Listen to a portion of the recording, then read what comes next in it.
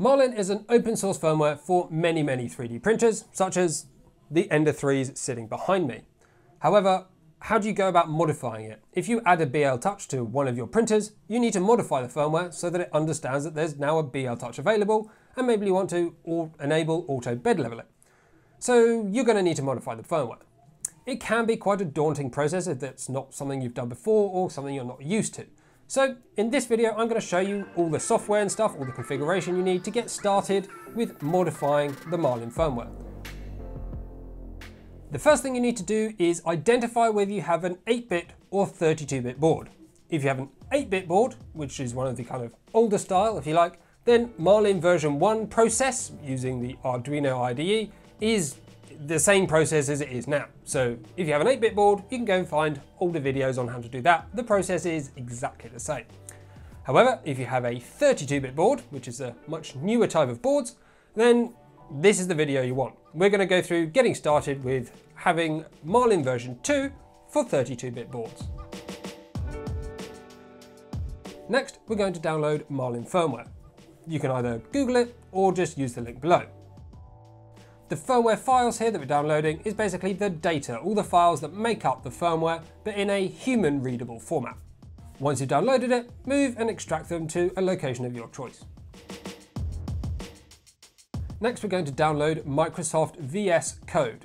Again, you can either Google it, it's probably the first link, or you can use the link in the description below.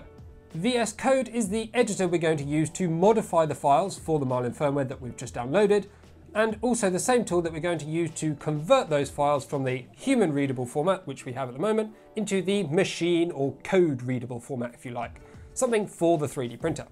Once you've downloaded it, install it as you would any other program, I ticked these two boxes as well, which gives you a little bit extra functionality. Once you get to the end of the install, tick the box to launch VS Code straight away. Next, you need to install Platform IO. This basically gives some additional functionality to Microsoft VS Code in order to do what we need it to do.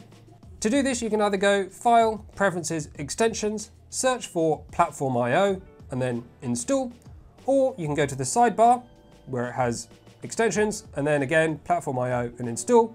Or you can also get to the extensions by using the shortcut Control, Shift, and X. Once Platform IO is installed, we need to open the Marlin firmware in Microsoft VS Code so we can work on it. To do that, select the Open Project button, browse to your working location, which you selected earlier, look for the platformio.ini file which you may not see the .ini depending on which extensions you have shown.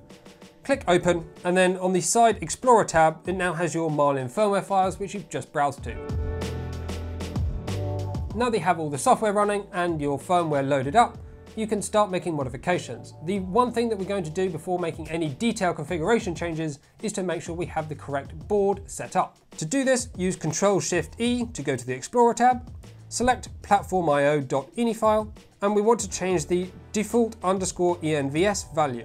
The default is Mega 2560, which is the standard for the ramps board, but unless you're doing ramps, which you would probably do in 8-bit and Arduino anyway, we're going to be changing this to the board that you use it. So this is the value you can either get from your reseller, from the manufacturer, or you can just do what I'm going to do here, which is use Control F and search for a part of the model number of the actual board that you have, and then you can use that value up the top. So I'm going to control F for GTR underscore, and that will find me the BigTreeTech GTR version 1.0. It's worth just checking the model number of the chip, which is just here, and compare it to the chip on the physical board. They should be the same number, and that means you've got the right board for the right chip, which is, you know, useful. Once you've got that, you can copy the ENVS value and paste it over where it says Mega 2560 at the top of the page. As always, Control S will save your changes.